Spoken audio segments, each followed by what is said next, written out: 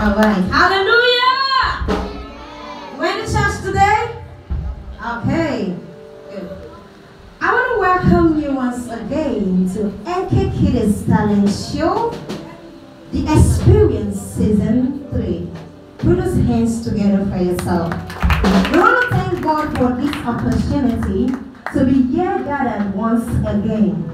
The audition was something else, and after two weeks, today, only but 10 top contestants will make it to the semi-finals. I want to let you know that everyone, both our parents and our guidance, you've all done wonderfully well. And I want you to celebrate yourself.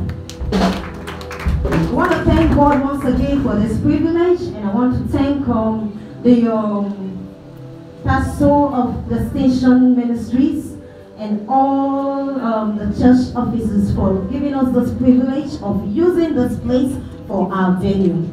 Say God bless them in the mighty name of Jesus.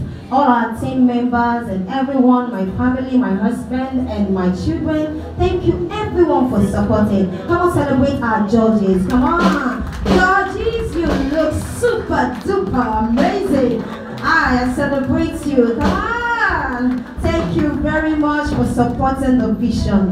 And everyone that has come and contestants, you know you rock my world. Thank you very much. I love you.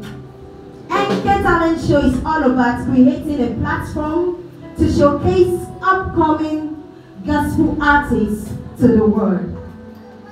And creativity for distinction is our password.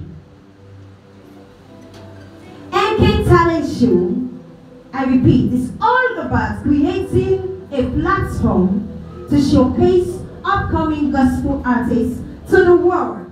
And creativity for distinction is our motto. That means as you come up here to sing or anything you do, you must be creative.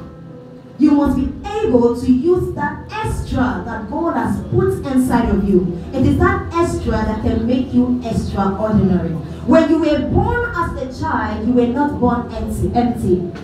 You have unique qualities. So Nkay Talent Show tries to bring out those qualities in you. Proverbs 22 verse 6 says, train up a child in the way he should go, and when he is old, he will not depart from it. So Nkay Talent Show, Nkay Kiddies Talent Show is trying to train our children in the world of music. So that when you come up, you'll be able to stand firm and sing well as a gospel artist. So without taking much time, I want to say I'm so happy and I'm pleased to see all of you today. And I want to end with this song. You're special